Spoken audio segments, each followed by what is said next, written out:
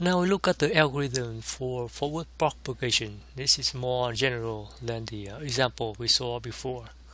So given the uh, instance x,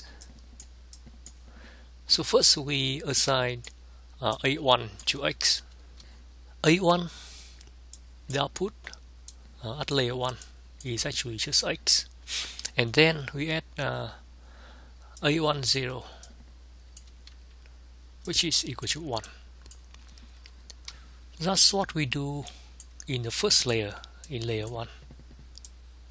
And then we look for L from 2 to capital L, and capital L is number of layers.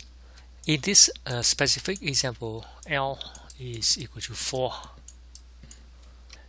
In each iteration, we compute um, the weighted sum Z, L, ZL uh, z at layer L which is equal to theta uh, L minus 1 times A L minus 1 and then we apply the nonlinear function z g to uh, uh ZL to get AL and then we also add um, AL0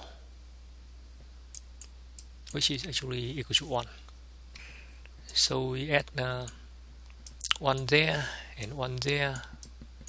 And however we don't add this value at layer 1 so uh, notice this and finally the hypothesis is assigned to AL which is the output uh, at layer L